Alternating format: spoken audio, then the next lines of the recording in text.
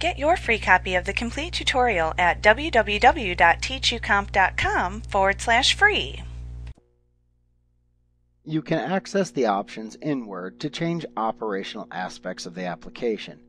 Note that changing the default options in Word can change the default behavior of the program, and therefore should only be performed by advanced users who thoroughly understand the options. In this lesson, we will review some of the most commonly used options in Word. Some of these options have already been discussed at various points in this tutorial in the context of their use within the application. You can access the default options in Word by clicking the File tab within the ribbon and then clicking the Options button in the lower left corner of the command panel. This will open the Word Options dialog box.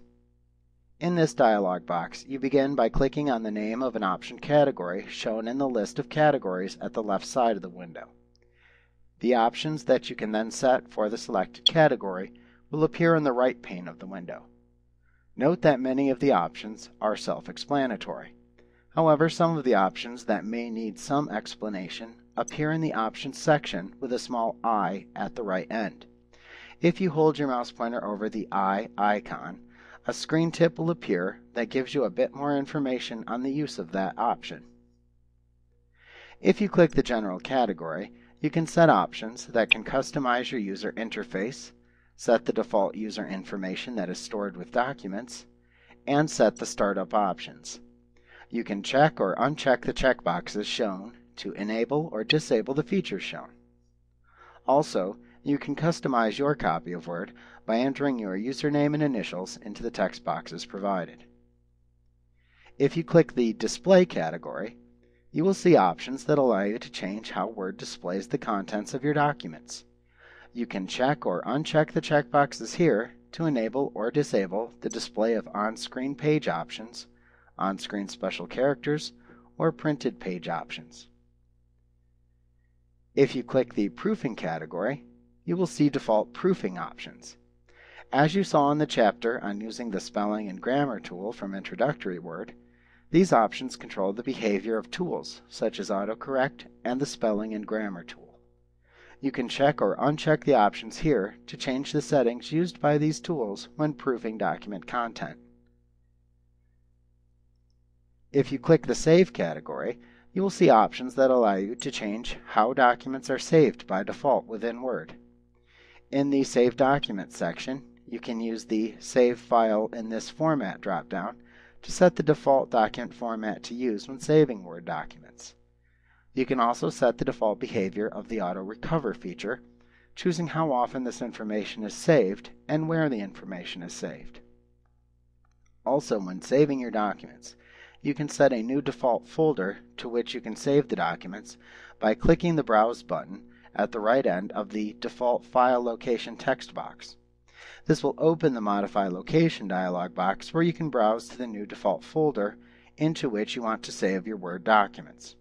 Once you've selected the folder, just click the OK button to set the folder and return to the Word Options dialog box. If you click the Language category, you can set the display language used for editing, display, and help within the program. If you click the Advanced category, you will see many of the advanced options for all categories. Each set of advanced options is grouped together by subcategory at the right side of this panel. You can check or uncheck the checkboxes to enable or disable the features shown within each section.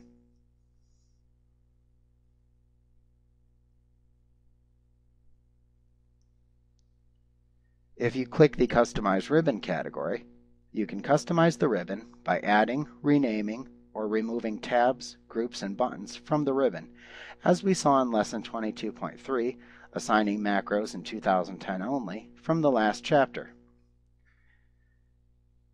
If you click the Quick Access Toolbar category, you can customize the Quick Access toolbar by adding, renaming, or removing buttons, as we saw in Lesson 22.3, assigning macros in 2010 only, from the last chapter. If you click the Add-ins category, you can see external programs that are allowed to interact with Word. If you click the Trust Center, you can manage security settings for Word. It is recommended you do not change these settings. Now once you have set the options that you would like, just click the OK button to set the new default options for Word.